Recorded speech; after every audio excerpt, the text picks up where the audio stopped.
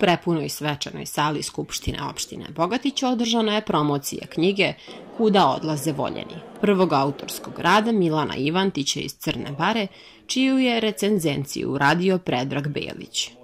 Ja sam u recenziji rekao o čemu se radi, pročitat ću samo kraj nekoliko redova kada je Milan na kraju stigao u kafanu Evropu, a cilj nam je svima Evropa, tako, tu mu se negde u jednom trenutku pričinio lik majke.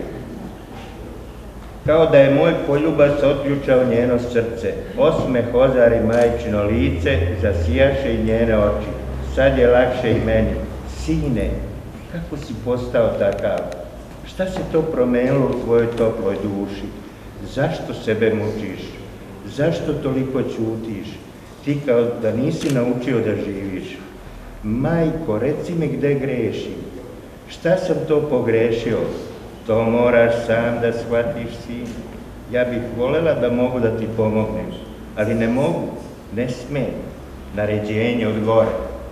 Znači, u momentu, tako se negde i, i, i knjiga završava, još nekoliko rečenica, ponovo se na kraju vraća majci i majka je prepoznala, rekla mu je u stvari da mora sam da nađe put i da krene dalje. I ja sam ponosan kao crnobarac zato što sam večeras ovde i što je ova knjiga ugledala svetlog dana. Knjiga je putovanje po sobstvenim uspomenama i sećanjima gde su se mnogi događaji desili ili ih je autor predvideo i poželeo da se dogode. Kao mozaik sklopljene su priče gde slike mladosti mnogo jače otkucavaju pod stare dane. Pitali su me ljudi koji je motiv bio moj da napišem roman i motiv moj pisanja uopšte. Možda će neki se začuditi, ali ja sam se lečio pisanjem. Svaki put kad bih objavio neku priču na Facebooku, ja sam se regenerisao. Zaista, kad bi postalo preteško i, i tmurno, ja sam bežao u pisanje, to je bilo moje utočište. I čak sam na jednom mestu u romanu je napisao da sam samo ispred čiste bele hartije ja gospodar svoje sudbine. I zaista je bilo tako, bilo je to bekstvo od realnosti kad postane više teška. Dakle, ako zaključujemo po tome, ja sam pisao iz ličnih, možda i sebičnih razloga, međutim, kako je ona dobijala, kako je se kompletirala ekipa i kako je ona dobijala svoj odraz, tako sam ja i imao želju da se ovaj moj roman svidi što široj čitalačkoj publici, čitaocima koji su poput mene, koji, koji su godina poput mene, koji su interesovanja poput mene. Tako da mislim da sam, da sam taj cilj donekle, donekle ovaj, postigao. Pisana iskreno, prepoznatljivim pitkim jezikom uz sav trud i uloženu energiju, pored nedostataka knjiga zavređuje pažnju.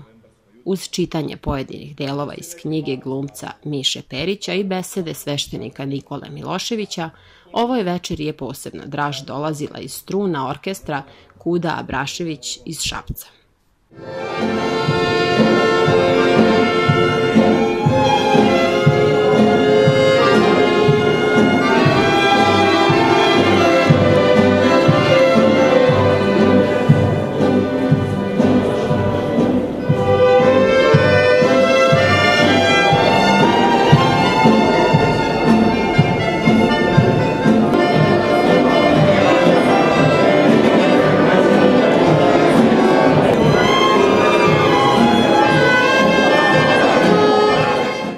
Čovek kad začeprka po sobstvenim uspomenama, uglavnom to čini iz dva razloga. Prvi bi bio da se polako bliži svome zemaljskom kraju, pa želi još jednom da prođe kroz sećanja i da ga bar ovlaš dodirnu ti davno prohujali trenuci. Drugi razlog bi bio da možda želi da to svoje bogatstvo podeli sa nekim. Mene su neka sećanja dugo proganjala.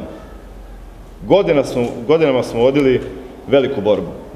Mnoga od njih su me i porazila. Nisam više mogao da se izborim sa njima. Ovaj roman na neki način je moja ispoved.